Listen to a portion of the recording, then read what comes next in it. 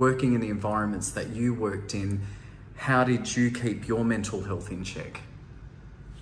Look, I, I, I did go through some pretty dark times, um, but I suppose a few things kept me um, from throwing myself off the ledge. Um, first thing was uh, uh, I, I understood that I, I couldn't just pigeonhole my life to military. I, I had to get out and, and move on. I also had to ensure that I was strong for my son. Um, he, he's the most important thing in my life. Uh, and through those dark times, I knew that I had to find a way to be strong for him. And he makes me happy. Being around him would center me. And for me, um, getting out of toxic environments um, that would trigger me. So I left the army.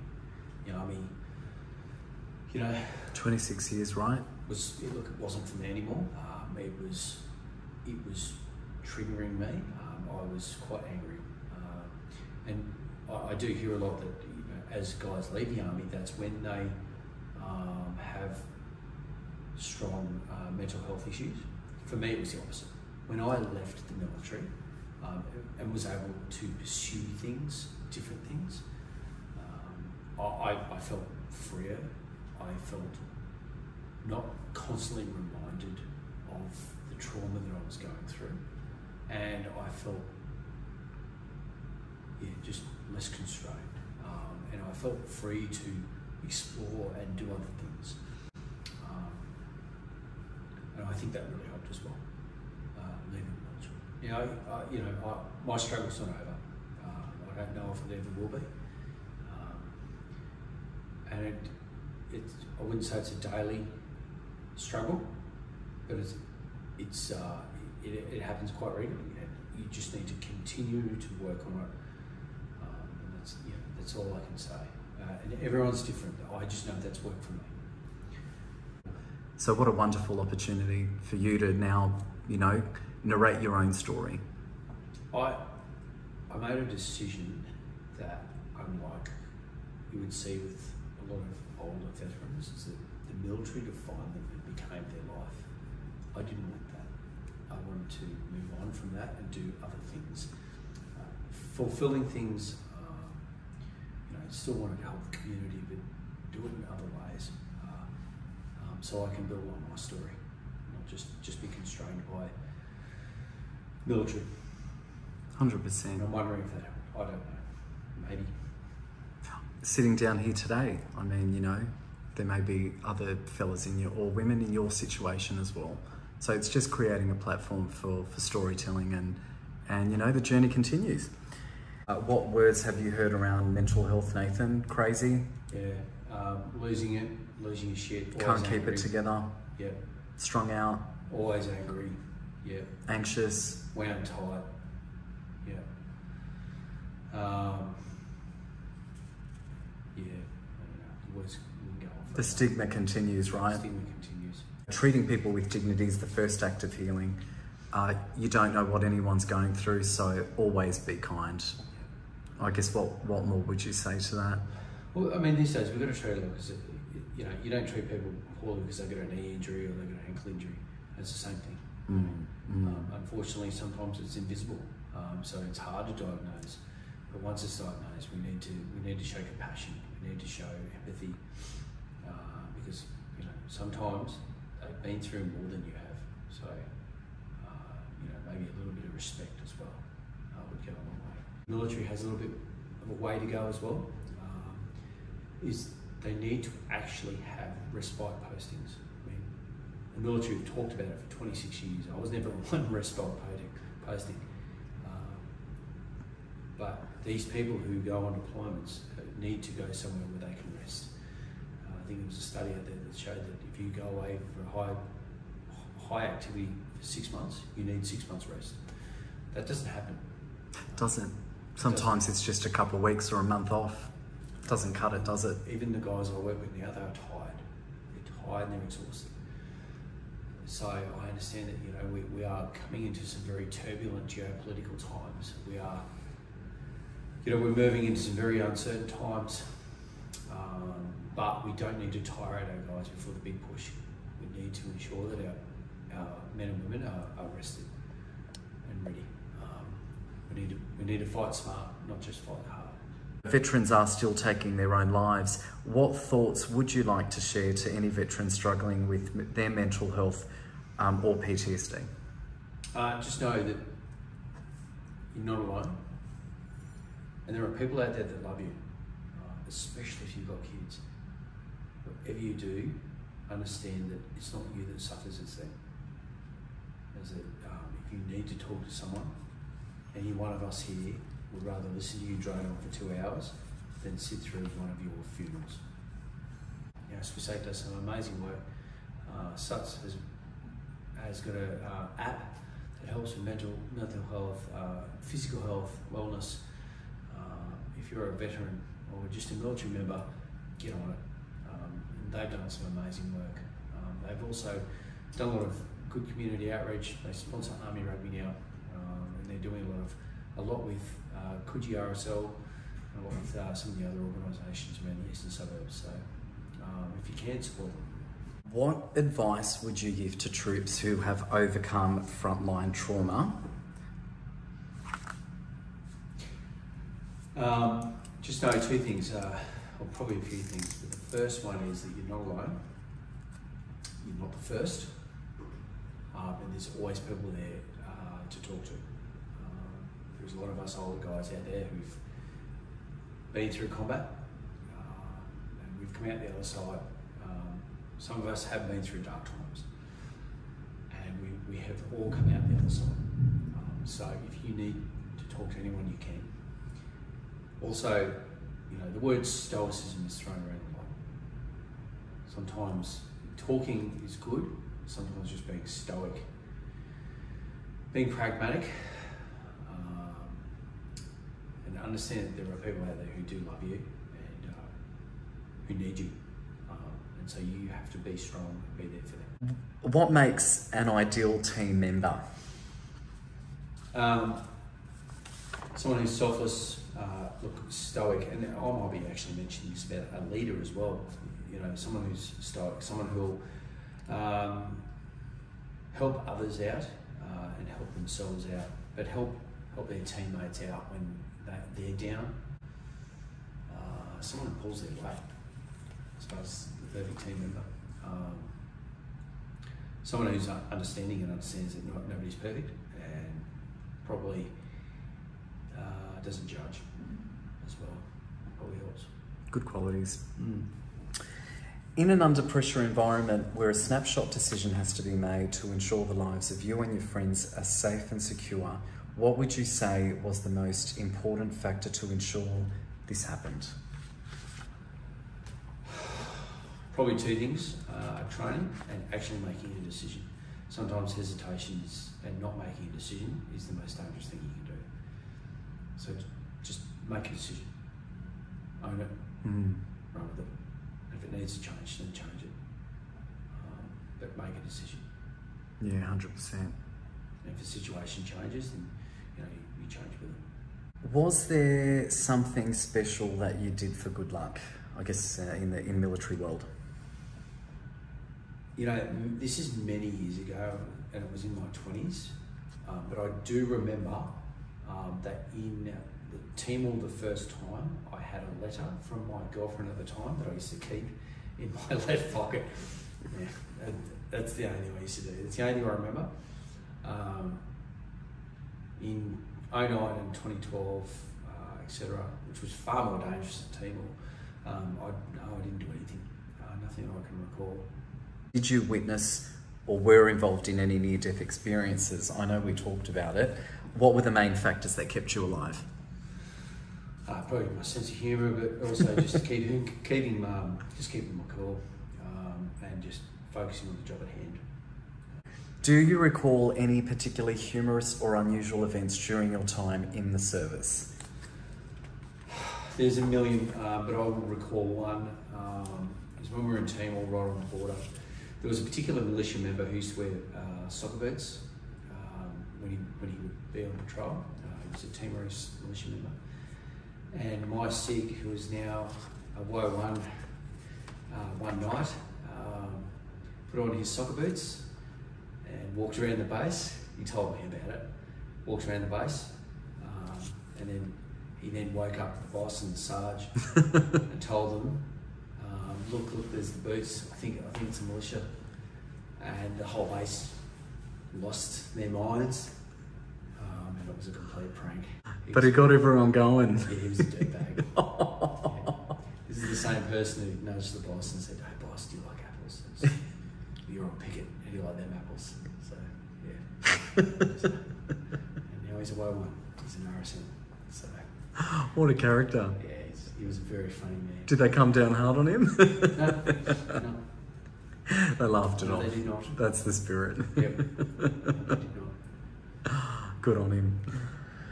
Uh, what were some of the pranks that you or some other veterans uh, pulled on each other? Oh, I, probably not. Some of them probably aren't appropriate for this forum. Um, Nothing's inappropriate for this forum.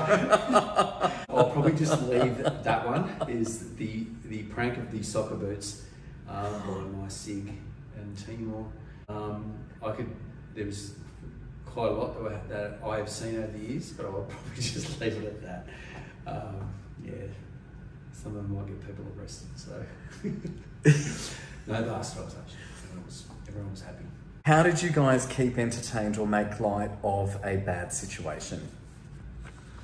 Well, we, I think um, every military member, especially a veteran, can definitely uh, understand that we ended up with really dark senses of humour, and um, yeah, I suppose we just uh, keep everyone laughing. Uh, you know, when you see a bad situation, people just seem to make a, a, a joke out of it, of which in civilian life with civilian friends would be grossly inappropriate, but to us was quite funny. Um, uh, and I have been reminded of that over the years that some jokes that you tell in the army you cannot tell to civilian friends. Um, but uh, that's, uh, I suppose that's how we kept ourselves amused um, with it, the, our incredibly dark humour, of which lasts to this day. Uh, best friends, my what I would call brothers um, from another mother, uh, are all in the military.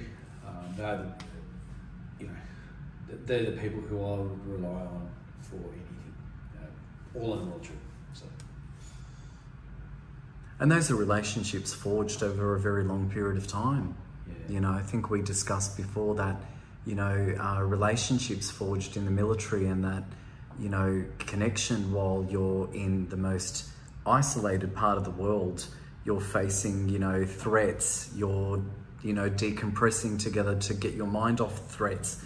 That's that bonds you for a, a lifetime, really. two of my best friends uh, I've known since 1995. Um, so yeah, and uh, some of my other close friends we've known for you know 20 years, so almost 30. Long time. Taking you back to when you returned from deployment and adjusted to everyday life, what is that transition like and what steps did you take to make it a smooth crossover? Uh, well, when I was with my wife, uh, it wasn't a smooth crossover, to be honest. It was quite difficult. Usually the day before one of us left, um, and about two weeks after we got back, it was turbulent. Um, you know, we would um, we, we would go on a few uh, alcohol benders.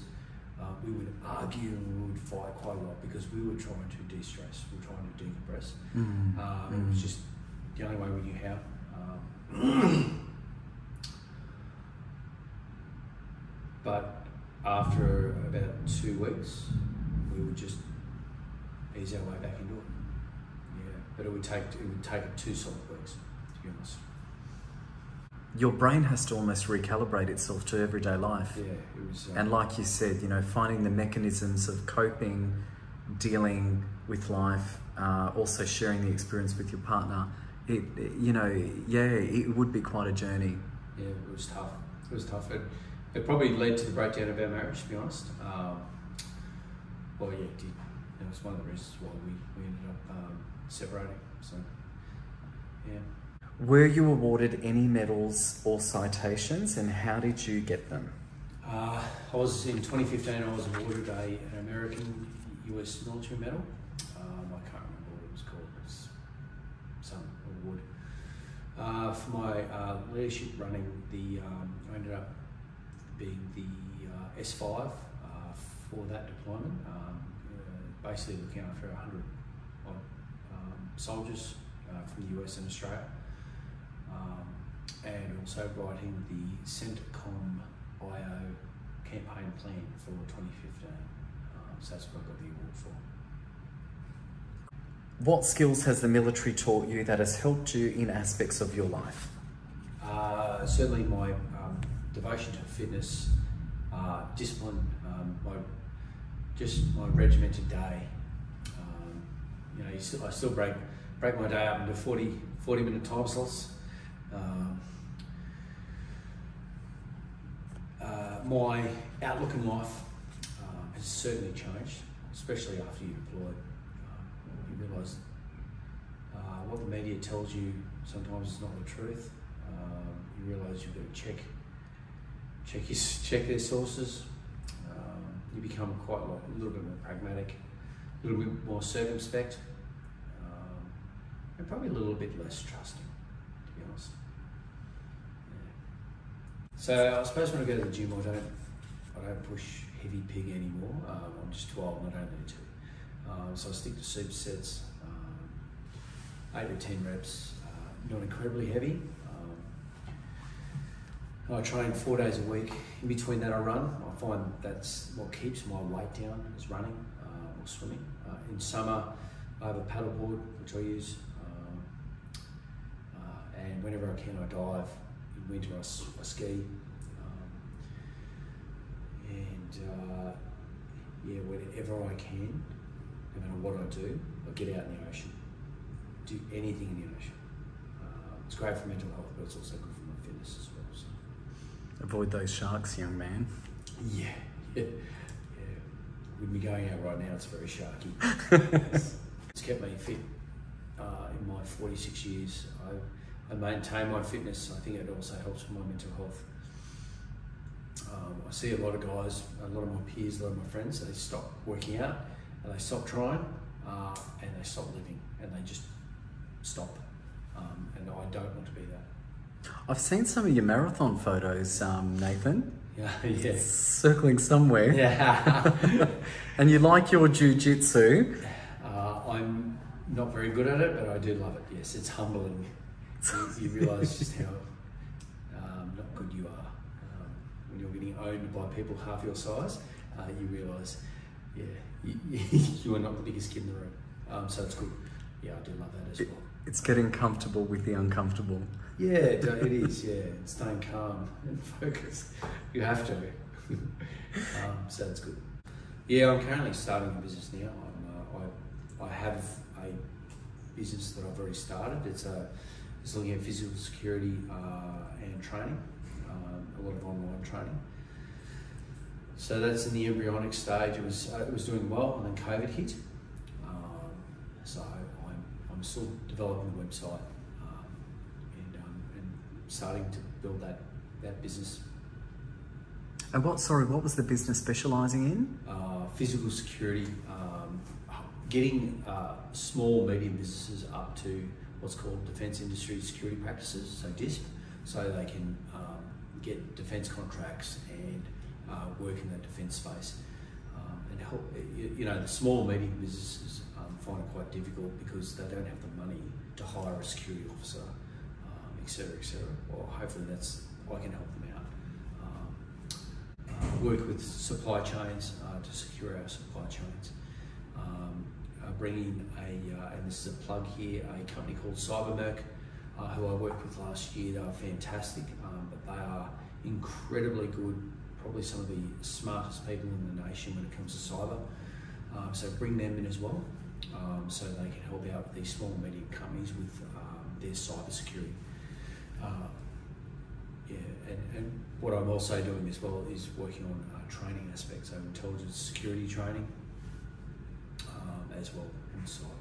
So it's embryonic, it's very small, uh, but you got to start somewhere. So And is this some of the public speaking um, footage that I've seen you doing? Yeah, correct. This is in the same space. same space. Great, great. So the public speaking footage is um, targeted to SMEs in the room? Um, so some of it was targeted to um, people who were about to deploy. Um, so I provided their their cyber security update um, for people who are about to deploy, and some of the other things as well was just uh, plugs for CyberMerc um, and ads for CyberMerc. Yeah. If you met your 18 year old self face to face, what's one piece of advice you would say to your younger self? Hustle, hustle. Keep pushing, Keep pushing. Don't give in. stay hungry. Yeah. Yeah. And I would probably on a quiet word tell them a few instances that they should not get themselves involved in. But I won't mention that here. A few caveats. Yeah, a few caveats. Do not do certain acts. Do not do that. Do not go out drinking with so so and so. Um, but Navy diver boys, do you hear? Yeah. I would. Um, no, that's probably the. And it's one thing I tell my son. I tell my son, um, you've got to keep hustling. You've got to keep working hard. Um, if you want to be the best in the room, you've got to work the hardest. That's that's what I pass on to my 18 year old self, and what I constantly tell my son. And you know what? There could be a hundred people in the room, but if there's about one person that really believes in you and um, sees your worth and your capabilities, that's one person that can make a world of difference, right? All the difference. Yeah. What advice would you give to our worldwide Navy diver fans, and what's some inspiration they could apply to their everyday life? Oh, probably the same thing. Just Hand in hand, right? Yep. Keep hustling. Keep working. Uh, to be the smartest person in the room and the hardest work, working person in the room will make you the most successful eventually. Um, that's probably the one bit of advice that I can pass on. Stay fit, stay healthy, stay happy, um, keep laughing, keep working. And keep your mental health in check, guys. Thank you Appreciate it. so much, Nathan, for dedicating your time to Navy Diver, mate. I want to thank you for your near 30 years service to the Australian military.